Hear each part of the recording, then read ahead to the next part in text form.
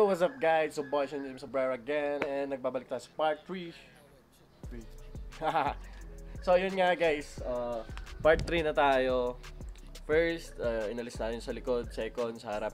Ngayon, lilinisan naman natin siya. So, ako gusto ko talaga malinis. So, lilinisan ko kasi gusto ko makita kung may rust siya or whatsoever. So, lilinisan na muna natin interior, sunod ang exterior Tapos, yun nga, titignan natin kung may rust, kung may kailangan ayusin, kung kailangan may pa bodywork. So, check natin lahat yan. And, uh, so yun na. Let's go. Let's go. Let's go. so, ito. Uh, unahin natin yung interior muna. Pa, so, basically, mag-vacuum lang ako. Mag-vacuum ko lang siya kasi medyo madumi. Madumi? Madumi talaga, hindi medyo. Madumi. Kasi inalis ko nga ibang mga dito seats mga kan yan lilinisan natin yan sunod uh, check natin lahat to lilinisan natin yan lilinisan natin yan yung dito outside dito linisan natin Tapos lalo dito i-vacuum ko rin dyan kasi medyo madumi and uh, syempre matagal na yung sasakyan natin and we don't know kung ano na kung anong mga nandyan na, kung gaano kadumi na yung nandyan. Kasi, tawag dito.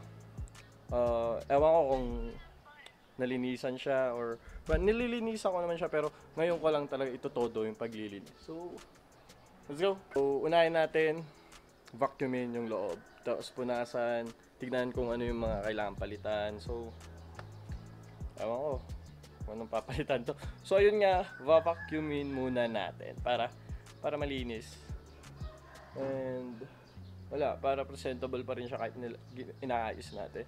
Bale, parang car wash na 50-50 lang to, hindi yung full car wash. Okay, let's go.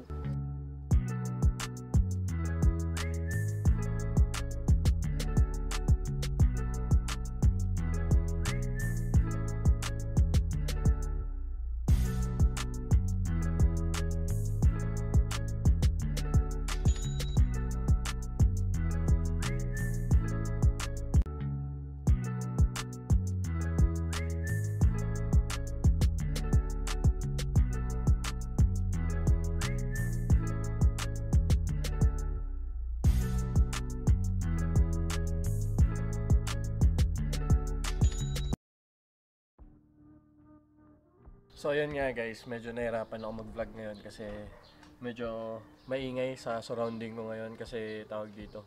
May gumagawa dito sa rap namin, parang nag-break lang sila kaya ngayon ako nakapag-vlog ulit. And hanggang time-lapse lang muna ako. Pero gagawin ko yung best ko na ipakita sa inyo kung paano linisan, paano, paano yung dry cleaning, yung wet cleaning, wet, ano, wet, wet. Suggestions ko lang or tip uh, para pag naglilinis na kayo ng wet, eh, parang sa akin kasi inalis ko yung mga tawag dito, yan, medyo maingay. Pero inalis ko yung mga taillights ko eh yung mga tawag dito, wirings is nakalabas. So, mas maganda iloob mo ng mabuti, itali mo muna, i-tape mo muna paloob para kung nag binabasa mo na yung outside or yung exterior, tamang linis lang kasi pag nabasa yan, may, may tendency na yan mag-cause ng fire sa yung sasakyan. So, better to be safe lagi. So, yun nga, alisin ko muna ulit yung battery doon. Inalis ko na yung switch niya pero mas maganda alisin ko kasi uh, nakalitaw siya. So, may, maingay, maingay. Eh, yan o. Nakalitaw siya. So, sure, pag binasa ko dito, may tendency mababasa yan. So, isa pa to, wirings nito. So, nilob ko na. Eh, stuck ko dyan. So, itong mga wiring dito is gagawa ko ng paraan kasi spaghetti siya oh. Pansin nyo. Eh, ewan ko. Kung anong gagawin ko eh. May mga clip na maata. Or igaganyan ko lang siya.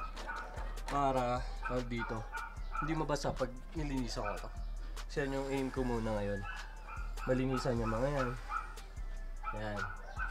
And susunod natin yung harap. So, bear with me kung medyo maingay. Eh, ganyan talaga. Maingay. And sunod dito, mas magandang alisin nyo rin to. Baka mabasa. Hindi pa naman tayo mag-engine wash. Pero, mas better na yun. And, wirings, sabi ko nga wirings. Wirings. Ito.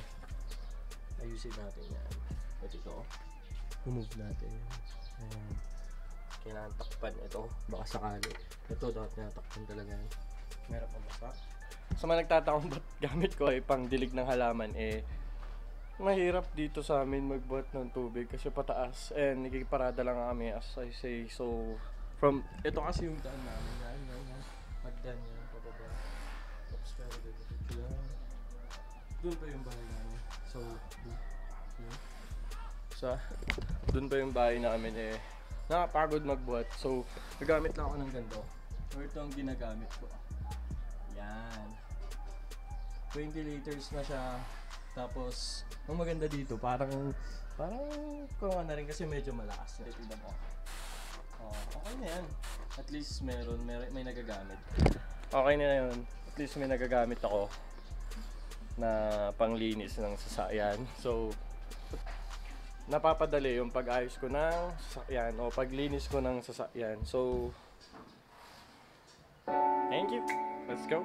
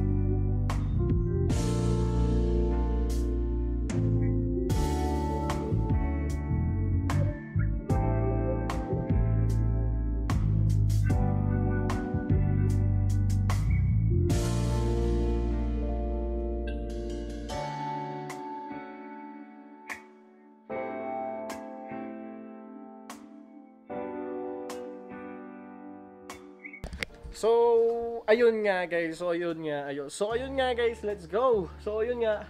So, ayun nga. So, ayun nga. So, ayun nga guys. So, uh, ang point ng paglilinis natin kay Kanjo Boy is para makita yung mga tawag dito, rust or whatsoever.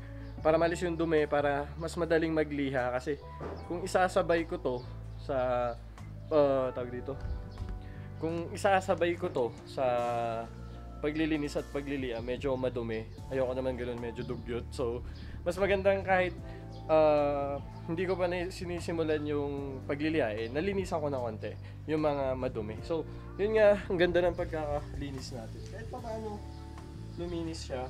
Yan, oh. Kung nakita nyo yung kaninang video, yan, nalinisan siya. And pati, pati na din dun sa konti sa loob. So, uh, nung natapos natin linisan ng likod, so napunta tayo dito sa harap. So, mas mas mahirap linisan ng harap kasi. So, ayun nga, mas madaming iniingatan sa harap. So, so kanina, kung nakita nyo, madumi yan. Yan, nalinisan niya. So, nakita ko, talagang may rust na doon. Dito, maayos pa yan. And, dito, nice natin yan. So, siguro, unahin ko munang lihain bago ko alisin itong mga to. Kasi may kailangan kaming tignan. And makikita nyo na sa next video yun, malalaman nyo kung anong kailangan tignan sa loob na to. Kasi there's something, there's something in here na kailangang makita. Pati sa, sa mas lalo sa kabila. Kailangan ko tignan kung ano yung nandun. So, yun nga, so, I started from 7. So, kung nagtataka kayo bakit 7, 7 ako lagi nagsisimula eh, kumbaga, para mas madami kang nagagawa. Sige, sipin mo nagising ka ng tanghali. Oo, nagpuyat ka, nagising ka ng tanghali. Pero anong kalabasan nun? Half of the day is nasayang. Sayang na sayang yun. Kung yung half day na yun, napaglinis ka ng sasakyan, napag, nagawa mo yung mga kailangan mong gawin sa bahay, di, ang ganda siguro nun feeling na sa hapon na na yun, makapagpahinga ka na, magagawa mo na yung gusto mong gawin. Mag-YouTube, maglaro ng computer. So, so pag nandiyan ka sa bahay mo is, be helpful rin di yung magigising ka ng tangali, then gagawin mo yung ginagawa mo, then sasabi mo, pagod ka ngayong araw, and yun, yun ang mahirap doon. So, mas magandang nagigising ng mas maaga. So, kung nakita niyo yung previous videos ko, yung dalawa, 7, gising na ako. Nauna pa ako sa father kong umuwi kasi galing sa duty. Uh, ang hirap nga ng duty nila, medyo pang umaga, pang gabi. So, yun nga. Let's go.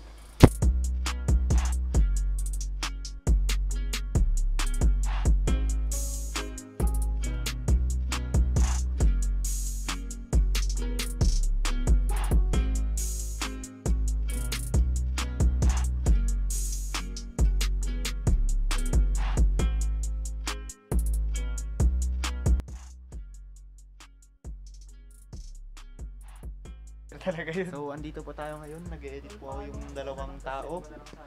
Nag-edit po sila. Ah, tingnan nyo naman po ang kwarto ni Shane. Oh, pinag-effortan. Black na black oh. Oh, yan. Well, dyan po nag-umpisa ang lahat ng pagbablog niya. Tsaka pag... Mm, may clothing line din siya. Ti- tignan nyo na lang sa Facebook. Plina-plug ko na sila kahit channel naman yung nila yung gagamitin nito. Ah, yun. When Lifestyle.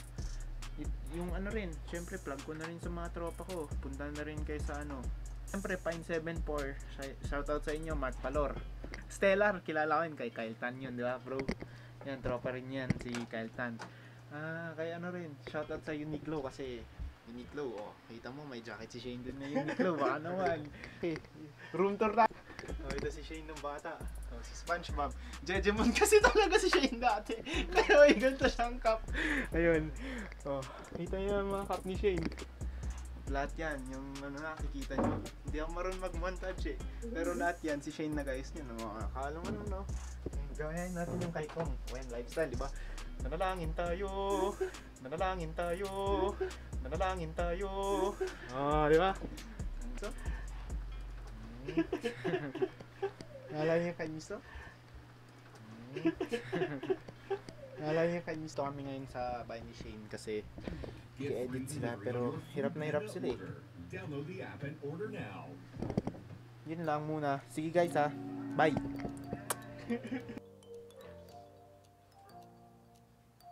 So, yun nga guys. ah sorry sa sayaw. We're here enjoying the view night. Very long day. Thank you Kuya Romeo sa fresh haircut natin dyan. Thank you, thank you. And so lang pasalamatan lahat ng nagko-comment, nagsusubscribe, nagla-like ng ating mga videos. You're again at the end of this video. Thank you for watching my video. And uh, And nakita niyo sa vlog natin, kasama natin si Rock at si David Kenoa. Yes, magkakapit bahay po. Yeah, we're all goods. We're all goods in the neighborhood. Yeah. so, ayun nga guys.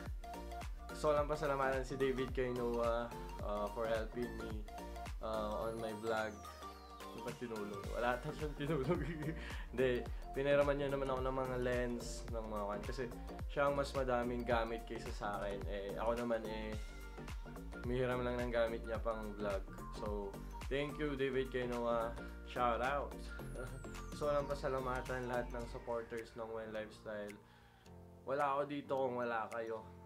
Yes, totoo yun. Hindi ako nagsasalita dito kung wala kayo. So, maraming salamat. Gusto ko rin pasalamatan ang mga magulang ko for supporting me all day, all day long. Gusto ko rin pasalamatan ang mga magulang ko for helping me accomplish my dreams. So, ayun nga, parang ito. Ah, hindi ko ina-expect na ah, tawag dito. Kaya kong gawin yung sa, yan, si Kanjo Boy nang wala sila. Totoo naman yun eh. Kanjo Boy was a gift to me uh, by my parents. Pinapaganda lang natin si Kanjo Boy. So, kaya nga naging Project Kanjo Boy. Kaya, yun naman guys. Gusto ko lang pasalamatan. Ay, gusto ko lang magpasalamat sa mga magulang ko. Uh, and, may iba naman yung background natin ngayon. Gusto ko lang medyo fresh. You can see, uh, walang stars ata ngayon ha. Pero, Walang stars pero may city lights tayo dyan sa background. Thank you again for watching this video. Uh, please do like, comment, subscribe. Malaking tulong yan sa akin. Because I'm, uh, I'm aiming for 1,000 subscriber. Pag naabot natin yan, may pag-giveaway tayo. Please do like, comment, subscribe. Maraming salamat. Thank you. Peace out. Mali ba? Peace out ba yung ko? Yes, sir. Let's go.